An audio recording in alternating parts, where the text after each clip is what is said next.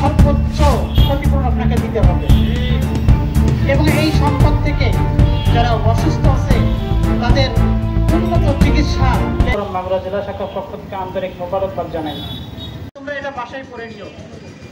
তার মানে শিক্ষকরা ছাত্রদেরকে এই বিষয়টা বুঝাবেন, এই লজ্জা এটা শিক্ষকদের মধ্যে কাজ করছে। এমন কিছু বিষয় আমাদের পাঠ্য কারিকুলামের মধ্যে নিয়ে নিয়ে আসা হয়েছে। এটা কাম্য না। অর্থ অভাবে তারা এখনও চিকিৎসা পর্যন্ত নজরে আনেন নাই। পথ দিয়ে নিহতদের সর্বোচ্চ ক্ষতিপূরণ আপনাকে দিতে হবে।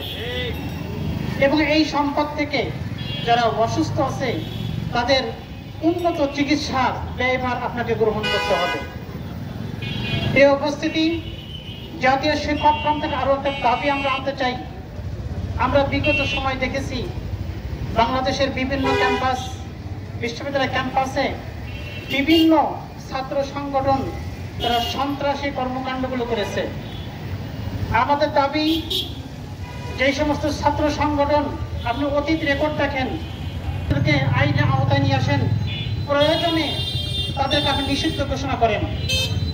আমাদের ছাত্ররা, সেখানে তাদের হাতে কলম থাকবে, খাতা থাকবে। তাদের হাতে আছে। আমাদের শিক্ষকরা, তার মানে শিক্ষকরা ছাত্রদেরকে এই বিষয়টা বুঝাবেন, এই লজ্জা এটা সব কারিকুলামের মধ্যে নিয়ে নিয়ে আসা হয়েছে। শিক্ষা জাতির মারু- মেরুদণ্ড, একটা জাতি যদি শিক্ষিত হয়, সেই জাতি স্বাবলম্বী হয়, সেই জাতি বিশ্বের বুকের মাথা উঁচু করে দাঁড়াইতে পারে। যা কারিকুলামকে ধ্বংসের দ্বার প্রান্তে নিয়ে দাঁড় করিয়েছিল।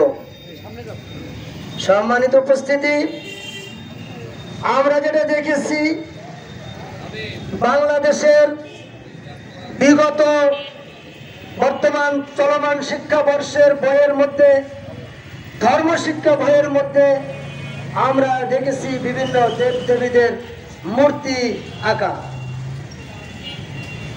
আমরা দেখেছি এই দেশের মানুষের মধ্যে বৈষম্য আনার জন্য মানুষের মধ্যে দ্বন্দ্ব সংঘাত আমরা উনিশশো একাত্তর সালে স্বাধীনতা অর্জন করেছিলাম।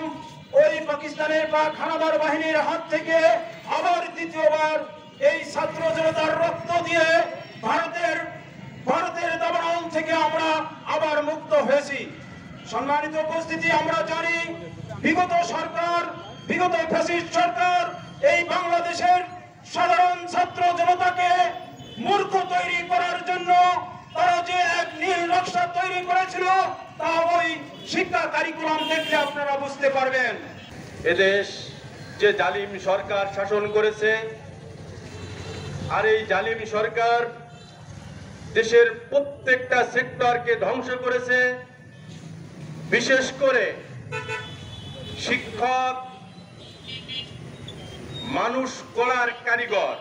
ছাত্রদেরকে হত্যা করেছে গণহত্যা করেছে তাদেরকে সকলকে বেছে বেছে বিচারের আওতায় আনতে হবে এবং তাদেরকে সুচিকিৎসা করার জন্য যা কিছু প্রয়োজন সেটা আপনাদেরকে দ্রুত গতিতে করতে হবে।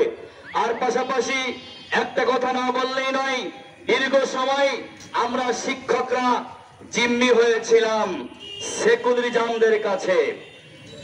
আমরা স্পষ্ট করে বলতে চাই, এদেশে দেখা যায় আমাদের শিক্ষাঙ্গনেও, লেখাপড়ার মাঝেও অনেকটাই বৈষম্যটা আমরা দেখতে পারি।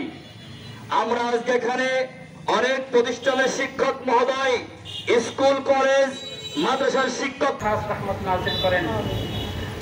আয় মালিক সুস্থ পরিবেশ আপনি তৈরি করিয়া দেন। আয় আল্লাহ, সমস্ত কর্মকাণ্ড থেকে আমাদের সবাইকে আপনি ফরমান। কবুল করিয়া নেন। আমাদের শিক্ষকদের মধ্যে আল্লাহ সমান رب ارحمهما كما ربياني صغيرا. وارحمنا معهم برحمتك يا أرحم الراحمين.